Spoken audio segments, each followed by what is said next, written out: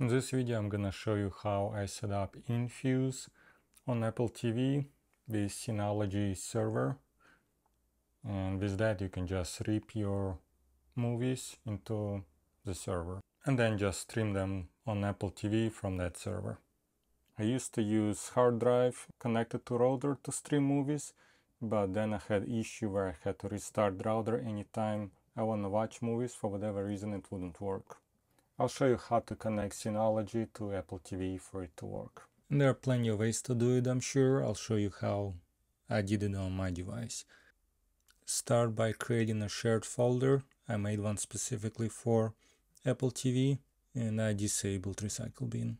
I created a user specifically for Apple TV. So here you put a name, password. Then in permission, that's a user created Apple TV read and write. For everything else, I did not allow any access. Now make sure SMB is enabled.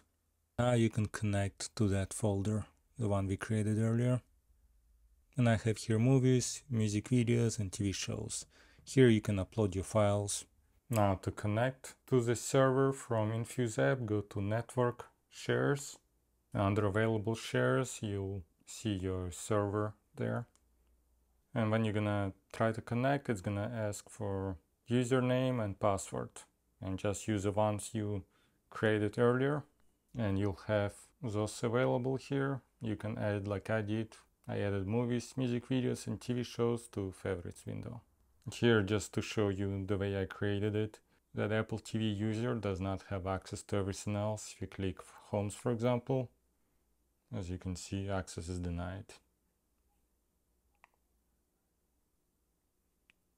Same with music, photos, web. And I like that Infuse has metadata available from internet, so you can have your movies you purchased and then rip to the server. You can have them available here with a nice covers. Then you can see description of it.